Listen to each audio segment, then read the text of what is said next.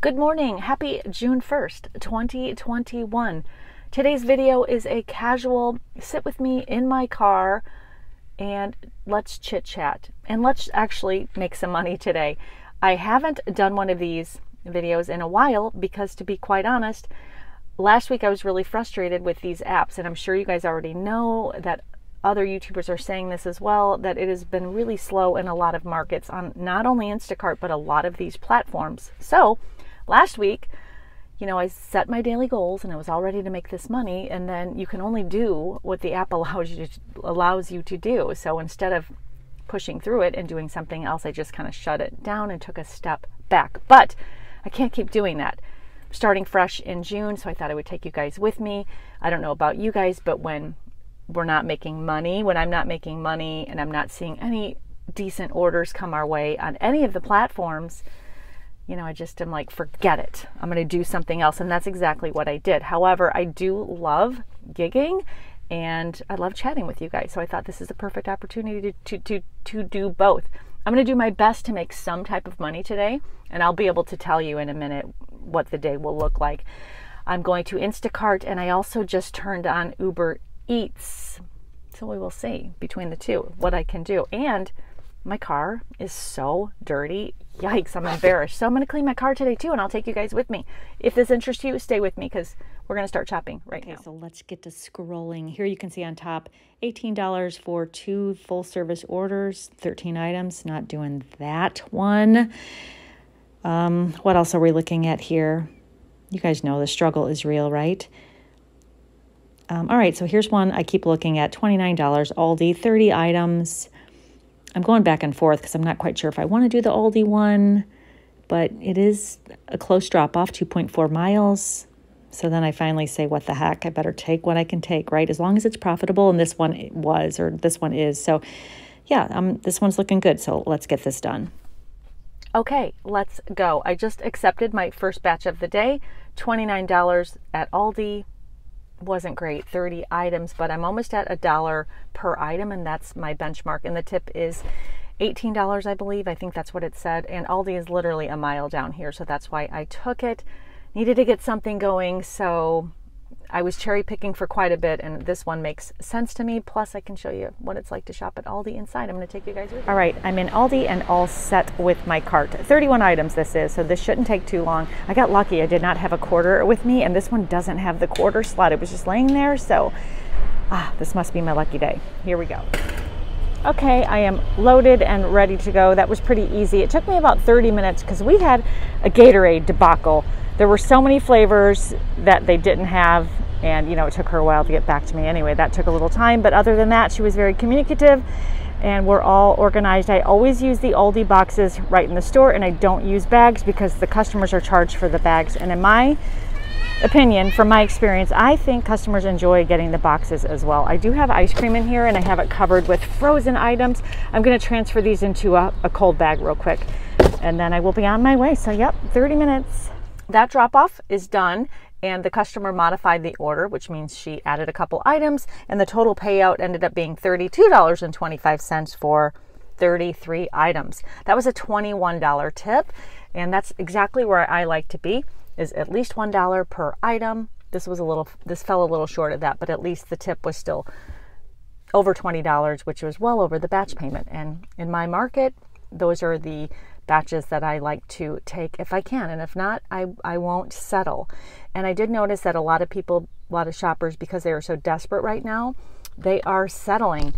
And settling meaning they're making well under minimum wage. And I just don't understand that. Walk me through that, you guys. If you're seeing batches out there for triple batches and you're taking these with 70 items and they're paying under $30, if you do the math, that is just not that is that is not okay. So I hope you guys are really analyzing your batches. And I know during these slow times it's tough because we're going to take what we can take, but never ever should you devalue your own self-worth and work under minimum wage. You got to think of the wear and tear on this vehicle, not to mention the the time that it takes us. So anyway, that is it. I'm going to get back online and see what I can find. The the orders are definitely a little more frequent today than that than I have seen them. So there's hope. Good morning. It is the next day, and to recap yesterday's earnings, I did end up earning $142.20. I did a total of four batches, two of which were double batches, and my average was $33 an hour for 4.24 hours. Now, that was, of course, active hours, not the hours I spent sitting in my car, but not terrible. Um, I did have a debacle, the very last batch that I did, which was a double of course, it's always the last batch of the day that gives you the most trouble. I thought I'm going to be in and out, no problem, and get home. So, I, because I had an appointment, I had somebody meeting me here, and of course, I was way late. But I get to the store, and the Wi Fi went down on my phone halfway into the shop. So, I'm like, oh no, I started the shop. What am I going to do? I knew this store is, is a trouble Wi Fi location, but I did it anyway, and I should have known better. But you live and you learn, right? So, I had to leave the store twice to reconnect my phone to Wi Fi to drive back to the store to finish the shop. And it, apparently, this happens all the time with Instacart shoppers there. And they said, Oh, just leave your cart over there, we'll watch it. Okay, that was a complete bleep show. I contacted the customers to let them know it's taking me a little longer because the Wi Fi keeps going out and it won't, the app won't let me do anything to progress. And they were understanding, thank goodness. Actually, the first customer didn't respond at all, but so that made me nervous. I got through the checkout hit navigation, and then I just got the spinning dial um, that stated unable to, to connect to the network. So I thought it was my phone, but it wasn't. I drove a few blocks away, it still wasn't working. I'm like, oh no, what am I going to do? I had to drive down to the Verizon, which was another four miles the opposite direction, to figure this out. What I wasn't going to do is restart my phone because I was worried that I would have lost that whole batch and then I have the groceries in the car, and would Instacart think I'm stealing the groceries? So I get to the Verizon, and I'm like, "Help! I have to, to I have to, I have to deliver these groceries that are in my car, and the app's down." So the guy at Verizon was nice, but he's like, "Oh, we're going to have to do a complete network set reset, and if you do that, you'll probably lose all of that batch information." I'm like, "Oh no, no, that's that's definitely not going to work." So five minutes, six minutes later we were able to get it working just by connecting to the Verizon Wi Fi, but it took a long time. So I don't know what the heck happened, but my phone is fine. It's new. They said it wasn't my phone. I don't know. So then I contacted the customers and let them know I'm on my way. I got there, no problem. But the first customer um, was customer A, tipped $2. Ugh. You know what? That's why doing double batches and triple batches is the absolute worst because we can't see those tips. And I would never take a batch for a $2 tip under no circumstances, at least for me, because I'm not going to devalue myself that way. It's almost like just such a slap in the face. I'm not shopping for you for $2. I'm not doing it. anyway, the second customer, though, knew that I was having trouble. I was communicating with him the whole way he ended up raising my tip from $23 up to $32, which was unbelievable and so generous. And it is the customers, say what you will, but the customers that tip generously in, in the app are the customers who understand the value of service and good service. And these are the customers that will raise your tip, not the customers that are tipping 50 cents or zero. No, thank you. Don't even get me started about triple batches, but that's not what this is about. I was able to make a decent wage yesterday, so I am grateful for that. Today is a new day. I'm going to try to at least do a couple batches. I'm going to take you guys with me, but I said I was going to clean my car yesterday and I didn't, and I'm going to do that right now. Okay, before I even get on the app, my car needs cleaned so bad. It's so grimy and gross. Um, I bought this a long time ago, and this is called the Bissell Steam Shot. I use it inside my house. No, this is not an infomercial, I promise. But if you guys don't have one of these, this thing is life changing, and I kid you not, I am not sponsored, but I love this. I saw another YouTuber use this who does a lot of house cleaning videos, easy and cheap, and this thing gets grime off of everything and it disinfects everything naturally, which is why I like it. You guys, I've cleaned my stove, my oven, um, my windows because it has um, oh it has a lot of a lot of attachments. Like you can use this to do your windows. So yeah i recommend it. I'm to link it below but let's start steaming and getting my car clean so that i can start making some money. But i can't like function if my car is grimy and it really is. So I want to show you how this works. Once you start using this steam shot, you will not want to put it down. I promise you it is really addicting. I start cleaning everything and I don't stop, but I don't have a lot of time because I want to get carding, but I wanted to show you really quick how it works. All you do is you push this lever down. You do have to hold it down the whole time and then just start pointing and steaming and watch. It literally, you can see like all of, all of the dirt coming off right away. And then you just wipe it when you're done and it's so clean. Oh my gosh. So fun, you guys, it's amazing. Okay, just because I'm having too much fun, thank you for entertaining me, but I'm gonna do the top of this because it was so icky and gross. So let me just steam that and show you.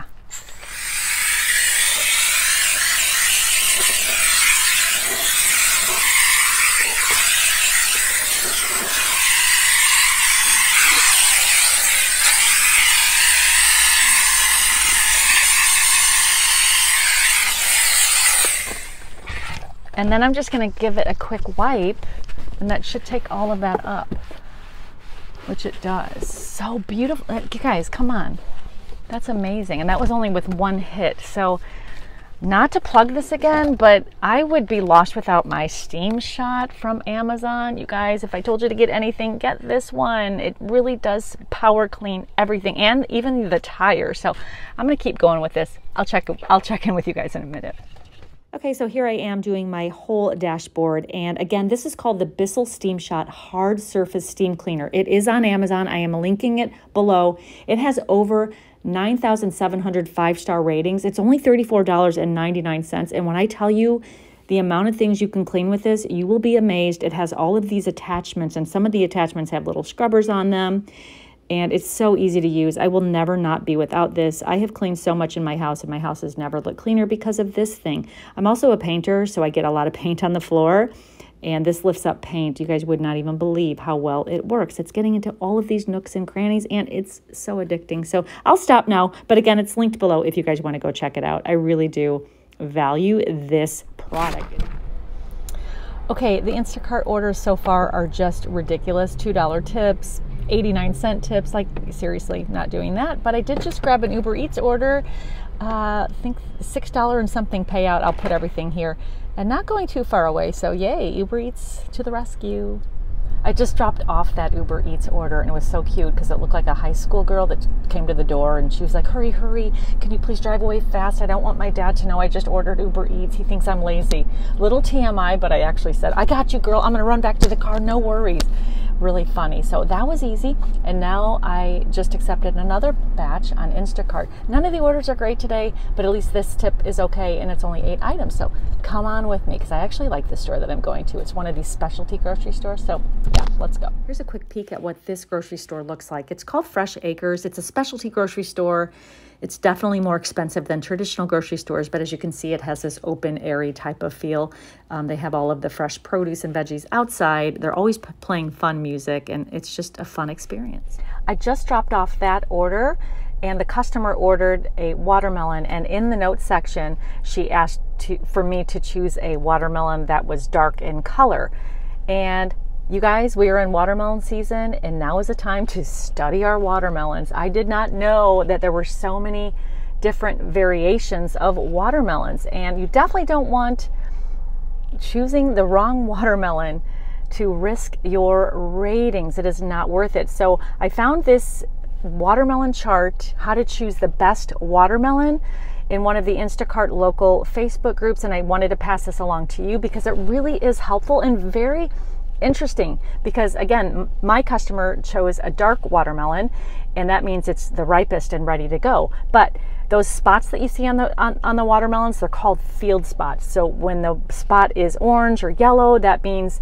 it is very sweet and has a lot of flavor. And if that watermelon has a white field spot that means there's no flavor in it whatsoever. So take this as an opportunity to learn your watermelons and study them. Definitely screenshot this as well so that you can be aware. And there's also variants in the webbing like the wider the webbing the less sweet it is, or maybe I'm getting that wrong, but definitely read this and screenshot it. Interesting to know. And always, always let your customer know what this watermelon looks like. Send them a picture of it. I had to do this for this customer. They all looked the same to me, but I did choose the darkest one I could find. Let her know in a photograph, this is the darkest one. How does this look? And she said that is perfect. Also, it's another opportunity to communicate with your customer. That shows your customer that you are paying attention. And again, we have to do everything we can to protect our ratings, especially with the limitation in the batches we are seeing. You definitely want to be at that five star. If you dip down because of a watermelon, you're never going to want to eat, to eat watermelon again, I promise you. But um, so I just wanted to share that with you because I thought this was an actual helpful tip. I who knew there's an elongated watermelon? Like what? Now, when I buy my own watermelons, I'm going to make sure I look for that field spot and make sure it's orange or yellow and definitely not white. But yes, here it is. Screenshot it so that you can have this and definitely, definitely communicate with your customers. Send them a picture of the watermelon before you choose one for them because I didn't know that there were so many different types. I hope that helps. Good morning. It is now Thursday, the next day. Yesterday was not a great day in the gig economy world, at least in my market. And you guys know how it goes, especially now it is up and down. I ended up only taking one batch on Instacart because I was really cherry picking and being so cautious with the batches I was a was willing to take. And you know, a lot of the batches, as you guys already know, are triple batches, or the miles are far, or the customer tip is if it was a single batch under a dollar fifty. Like I'm not doing that, and I hope you guys aren't too. But that's okay. It is the nature of the game. It literally is a roller coaster. It's up and down. The same with Uber Eats as well. I did do a couple orders on Uber Eats, which thank goodness I had Uber Eats as an option. And this brings me to my next point. In case you guys did not see this video, Gig Life just put out a video a couple days ago, and I know you guys know who he is because he is really awesome. He brings positivity and really good content, which I really appreciate. I'm going to link the video he just posted a couple days ago in the description box below, so definitely go watch it. But he titled it the gig economy is crashing. Now what? And basically, he was saying we as gig workers should not be pigeonholing ourselves into into the gig economy and he is so right it's almost like a mindset and i know right now it is slow for so many people out there working in the gig economy he was encouraging those of us who are in the gig economy to not specifically rely on one app which i do believe most of us are understanding and doing right now. We are, even though we fall in love with one app, we cannot be married to that app and we have to have other apps going as well. In addition to that, don't even think further out of the app world and try other revenue streams. And they're out there, you guys. There are so many opportunities online right now. And they're you know there are too many to count really and i just encourage all of you just like he did he he's challenging everyone to think out of the gig economy box and expand your options into other streams of revenue because a lot of the gig tubers out there that you are watching they they likely have other revenue streams as well as working just solely in the gig economy so you definitely want to protect yourself and yes it is a little bit slow right now and it's because we are you know, people are doing their own shopping and they're doing their own, going to get their own food, and it's going to happen. It will come back. I'm confident that it will, but again, don't pigeonhole yourself so tightly. Don't niche, don't niche down so much that you are losing sight of other opportunities that may come your way. Yesterday was perfect example of that. I was like, "Oh my gosh." And I actually had a good day yesterday because even though it was slow, I decided, "You know what? I'm going to take the orders on Uber Eats that I want to do, and I'm going to shop in the market that I want to shop in. And I, I changed my mindset, and I had a good time doing it instead of being so angry and frustrated that one app was slower than the next. I just sort of looked at everything with a little bit more positivity and said, you know what, there are other opportunities other than gigging as well. Even though we love gigging, Right now, it's just a little slow for all of us. Let's hope it turns around, but I definitely wanted to put that out there. Thank you, Gig Life, for putting that video out and for encouraging your viewers and all of us to think differently and maybe a little more creatively. And just to know that this is probably just a slow season and it will turn around. It always does. So, Gig Life, thank you again. I'm going to link that video in the, in the description box below. It was a great pep talk. I waited in the Costco parking lot for the 10 a.m. drop. And actually, it was a little late. It was 10:05, a.m. and I passed up on a lot of good batches I probably should have taken, but I was holding out for this one. It's only 20 items, so this went pretty quick. It took me about 10 minutes and it's a two mile drop off. So this is a good start. I am back and I am done. Well, at least for today. I ended up making $74.25 on Instacart, and this is because I only accepted two batches out of the whole day because those are the only two batches that made sense to me. When I say make sense, I just wanted to be profitable. So I was picky and I waited, but these were okay because I ended up paying at least a decent amount. The customers tipped, and I averaged $47 an hour on Instacart. Of course, that's not drive time or sitting in the car time. And then I also turned on Uber Eats and I grabbed one order on Uber Eats. It was a double from Chipotle that paid $19 and the miles were really close. So that was really easy. It's amazing how many batches that I saw today that did not have customer tips. So I don't know what's happening with the tips. They're dwindling. I don't know. Maybe customers know shoppers are desperate and they're zero tipping in the app. What's crazier to me is that these batches quickly disappeared out of the queue. Whether they were put in a double or not, I'm not sure, but shoppers are definitely taking these. And for me, I would rather sit all day and wait than to again undervalue my time and my efforts. It's just, it's not okay in my opinion. But everyone has to do what works for them. I know it's a slow season, I know it's frustrating, but it does help to start the day out with a positive attitude and just maybe lower those goals a little bit just so that you can at least hit them. And in the meantime, definitely start looking for other opportunities outside of the gig economy because I know that there are plenty. I would love to do another video about what opportunities are out there. That'll be for another day.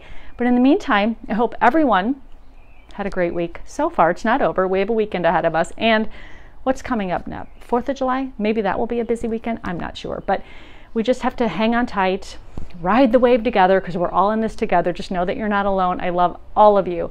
I respect all of you and how and how hard you are working. So that is it for this shop along chit chat video. Please let me know in the comments below how you are doing in your area how you are getting through this little slow season and uh, what your thoughts are on all of it. I will talk to you guys soon. Love you. Bye.